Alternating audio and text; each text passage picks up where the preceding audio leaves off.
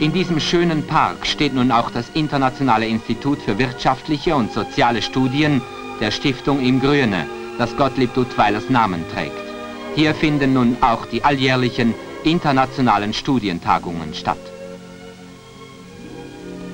Sie gelten zur Hauptsache der Aussprache über die modernen Tendenzen und Probleme der Warenverteilung, aber auch anderen, die Menschheit bewegenden Fragen. In einer für persönliche Kontakte geeigneten Atmosphäre leisten so alljährlich rund 300 Persönlichkeiten aus Europa und Übersee wertvolle Arbeit.